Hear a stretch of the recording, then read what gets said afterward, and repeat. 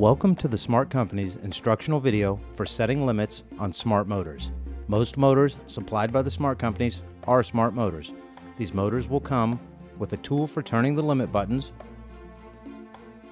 and a remote. Not all remotes are identical to the one shown here, but they all work the exact same way. They have an up, a down, and a stop button on the front. This example is of a motor on the left side. For motors on the right side, the limit buttons would be in the reverse of what is shown in this video. The first step, take off the back cover of the remote. If the battery is not installed, install it now. Next, connect the power. We recommend using a test switch as shown here.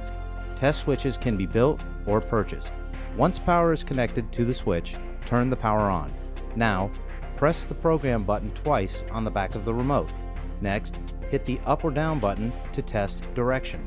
If the motor is moving in the wrong direction, stop, turn the switch off, and disconnect the power. Now reconnect the power and turn the switch back on. If you have a motor left, hit the program button twice and hit the up button to change direction. If it's a motor right, hit the program button twice and push the down button to change direction.